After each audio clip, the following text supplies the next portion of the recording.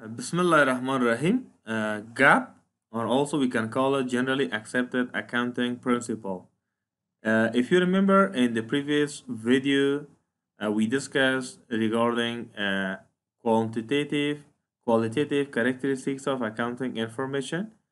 And on that video, we discussed regarding the understandability and comparability and so on. And also we said the accounting information should have those qualities uh, that we should we should be able to compare data of one organization with another organization, data of one company with the previous year, and it should be understandable for everyone, right?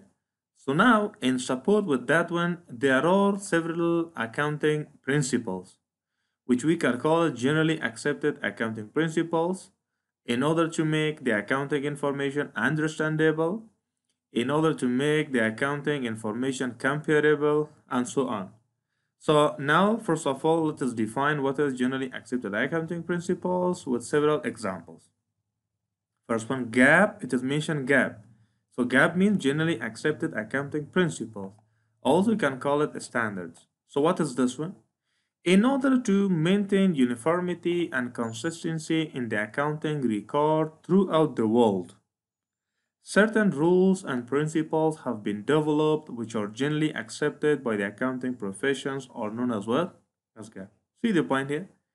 So the accountant professions thought that if different countries use different accounting principle and standards, finally, if they prepare the financial statement, it may not be understandable by the other countries, right? For example, the accounting report which are provided or which can be provided in Afghanistan may not be understandable by Pakistan. Or if the Pakistanis provide accounting information may not be understandable by us, they may not be understand that may not be understandable in United States, in UK, in several other countries. Why? Because each country has their own accounting principles. So what is the point? So there is a problem now. So what is the problem? The problem is that if different country use different accounting standards, finally, the result will be that you cannot compare the data of one country with another country. And of course, the accounting standard, which are the accounting report or informations which are provided are not understandable, right? Why we cannot understand? Why we cannot understand? Because we use different format, they use different format. We use different principle, they use different principle. So in order to avoid such problem in the accounting field, so the accounting professions came together and they have developed a common standards and that common standard should be account should be accepted by accountants throughout the world in order to bring uniformity and consistency. So that principles can be called as what? As GAAP. Now let me read it once again. In order to maintain uniformity and consistency in accounting record, two things. Number one, uniformity. So same thing should be applied by A country, B country, C country, and D country. And the next thing, the same thing should be continued for several number of years. Continuously, they have to use all those rules and regulations. So if this is so, so finally, in accounting record throughout the world, if all countries use the same thing, for this purpose, certain rules and principles have been developed in order to have uniform record in order to have consistency in their accounting record. This set of rules and regulation can be called as what as GAAP. That first minute. Accountant professional یک جور شدن دیدن که والا پاکستان یک قانون تطبیق می‌کنه افغانستان دیگه قانون تطبیق می‌کنه امریکا دیگه قانون تطبیق می‌کنه والا گفتی قابل درک به ما نیست گفت چی کنیم گفت بیاین که یک ست آف رولز جور می‌کنیم که اینمی ست آف رولز بعد از این بازگه بر کلگی باید قابل قبول باشه یک قانون کلی تطبیق کنه. بعد باز ما می‌فهمیم که کدام کمپانی خوب پرفورمنس داده کدام کمپانی خوب پرفورمنس نداده. درست است پس اونا یک جا شدن. اینمی یک قانون ها را یا پرنسیپال ها را جور کردن. که اینمی پرنسیپال هایی که همه اکاونتینگ پروفیشنال ایره قبول کردن و جنرالی قبول کردن. همه نمیگیم که باز بعدا با میگیم که همه چطور قبول نکردن. یعنی اکثریت ایره قبول کردن به خاطر از اینکه در اکاونتینگ ریکاردشون یونیفورمیتی باید باشه. ایتو نشه یک سال یک قانون دیگه سال دیگه قانون. یک سال یک میتود سال دیگه میتود. اکاونتینگ ریپورتشون باید به شکل یونیفرم باشه. از یک کمپانی با دیگه کمپانی با دیگه کمپانی با دیگه کمپانی این سیستم باید باشه. و این کمپانی این میتود تعقیب کرد به چندین سال باید چی بکنه؟ تعقیب بکنه. اینمی روز و قانونی که کل کمپینا تطبیق بکنه و همین سالات تطبیق بکنن ایره بانم چی می‌کنه؟ بانم گپ right GAAP is basically developed or initially developed in United States. But although there are other set of principles or rules which we can call it FIRS IFRS internationally financial reporting standards so uh, this is basically developed in UK right? United Kingdom. So these two set of rules are available in the world. One is developed by United States and the second one is developed by, by US, right? Uh, United States, and this is developed by United Kingdom or England, right? So this is also acceptable and this is also acceptable. In most of the case, they are the same, but somehow, or in some cases, there are a little bit variation, uh, but they are working on that one to reduce that gap, right?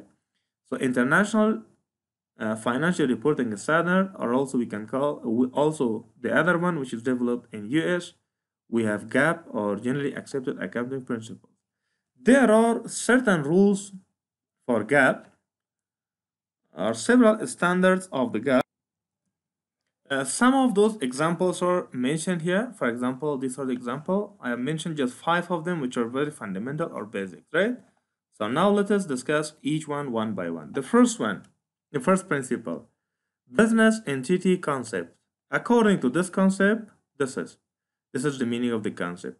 This means that in accounting, the business and owner must be treated separately. Business entity concept says that according to the rules of accounting, owner should be considered as a separate person and business should be considered as a separate person, right? So why? Because according to the law, so business is an individual person, and of course, owner is an individual person. Business can be called as a legal person, شخص حکومی. An owner of the business can be called as a natural person, شخص حقیقی. درست است؟ ما دو نوع شخص داریم در in the case of business. یکی شخص حقیقی است، یکی شخص حقوقی. درست است؟ از نگاه حقوقی یا حکمی شخص شده. و یکم شخص چه حقیقی احمد محمود یا کلشون شخص های حقیقی سن یا uh, those person which are created by Allah right by God on the other side uh, we have legal persons legal person means those person which are created by law by قانون اینمی کمپانی وقتی که راجستر میشه با به شخص تبدیل میشه میشه نمیشه پس توسط قانون به شخص چی شده تبدیل شده مگر ما شما توسط خدا به چی شدیم به شخص تبدیل شدیم پس نظر به enemy concept of accounting, always there should be a separate account for owner of the business and separate account for the business. It means you should not mix account of owner with account of business. Account owner امرای account business نکن مکس نکن امکان داره اینی اونر ده دانه بزنس داشته باشه اگر تو باز اکانتاش مکس کنی پس در اینجا گدوتی مفته باید برای نمی ده دانه بزنس ده دانه اکانت و به اونر هم یک دانه اکانت چی کنی تو باید نگاه کنی درست است پس اکانت آنر باید یک اکانت جدایی باشه اکانت که چندین بزنس داره از یک بزنسش به بزنس دیگه مکس نکن. مصارفی که مربوط به آنر میشه باید در اکانت آنر نشته شود. مصارف هایی که مربوط به بزنس باشه اکانت بزنس باید نشته شود. اواید که مربوط به آنر میشه آنر آنر امکان داره از ده ها جای برش آید بیاد رسه از امریکا کسی برش کمک کنه از یک جای دیگه از هر مثال دونیشن میشه برش. یک مسائل دیگه اگه اینکم از زراعت اینکم داره. مگر بزنس ای پس ای آیدا باید به خود آنر ریکارد شود. و از طرف دیگه بزنس است که در بزنس هر آیدی که داشتی باید از طرف خود بزنس باید اونجا ریکارد کنیم. یعنی آید بزنس با آید آید آنر آید آنر با آید بزنس باید مکس نشه. نه تنها که آید باید مصارف ها کل چیز باید چی شه؟ یک اکانت جدا برشون باید نگاه شه. Point number two that is one concept. The first one which is very important business entity concept separate account for owner and separate account for business. Money measurement concept. According to this one, accounting records only those transactions which are expressed in terms of money. Even in the initial day, we discussed regarding financial transactions, right?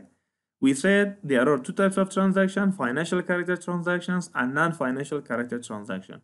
So according to this concept, only those transactions which are financial character transactions or those transactions which are expressed in terms of money can be recorded in the book of account Otherwise, we cannot record it, and this is very simple. Concept 3, cost concept. According to this concept, all transactions are recorded in the book of account at actual price involved, right? See the point here? According to this concept, if you record, if you want to record the transaction in the book of account, that should be recorded at actual, actual price involved. For example, if you want to record the transaction for purchasing a machine, right? For example, you purchase a machine for 50,000, so that 50,000 should be recorded in the book of account. Doesn't matter, for example, how much you purchase and how much was in the market. بعض اوقات امکان داره توی رو به 50 خریده باشی و کسی تو رو بازی داده باشه در حقیقت در مارکت قیمتش به 40,000 است. Doesn't matter how much was in the market but how much you paid for that. It should be recorded. امکان داره یک جنس بفروشی یک کسی به جانت بزنه. باید 50 میفروختی 40 فروختی. چیزی که فروختی در اینجا باید چی شد؟ ریکارد Right? So the actual price should be involved. How much you paid or how much you received, that one should be, should be recorded. Not more than that as well as not less than that. That is to be taken in your mind. Next concept is dual aspect concept. According to this concept, every transaction has two aspects.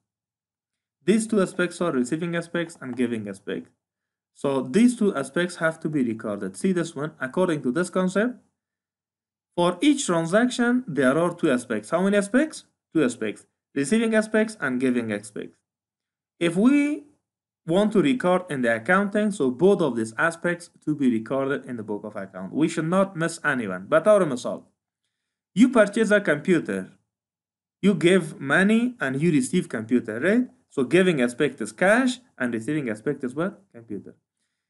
بطور مثال شما میرین یک زمین اقتا زمین خریداری می‌کنین پول میتین در مقابلش چی نمی‌گیرین زمین می‌گیرین پس این ترانزکشن دو اسپکت داشت ام giving aspect داشت ام چی داشت receiving aspect داشت so if you want to record this one in the book of account so both of this aspects should be recorded right or suppose Ahmad gave money to Mahmoud right so who gives and who receives so both of this one should be recorded in the book of account and that one can be called as well dual aspect concept and last one is accounting period concept. The period of 12 months within which the performance of a business is measured is called accounting period. So, what is here?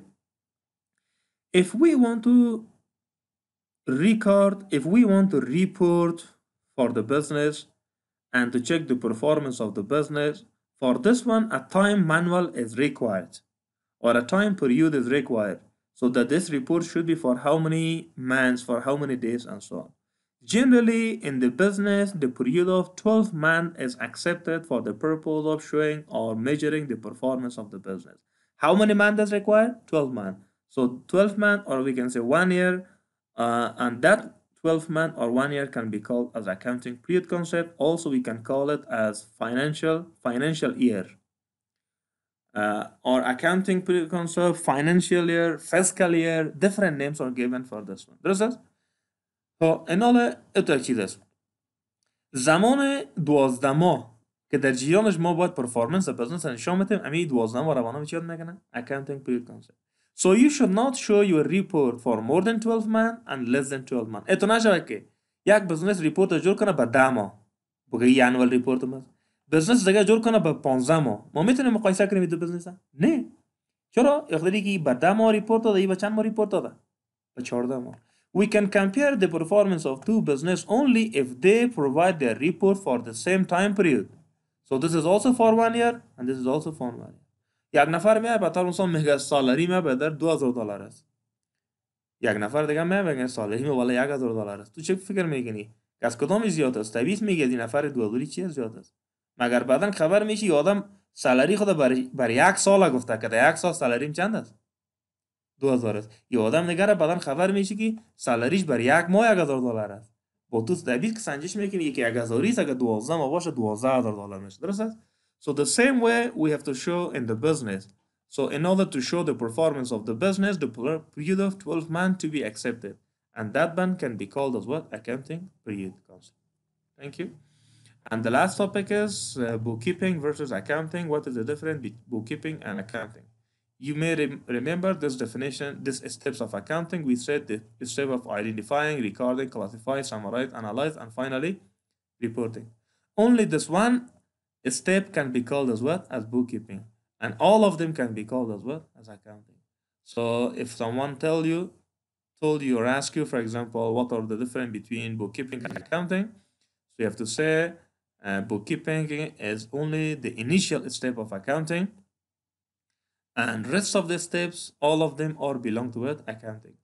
Or you can say, for example, out of several steps, only one step can be called as well, Bookkeeping. But accounting include all of them. So you can say bookkeeping is a part of accounting. So thank you so much. Uh, this was for end of chapter number one. And for having more videos, you can go in my YouTube channel. And if you like, you can subscribe as well for the further videos.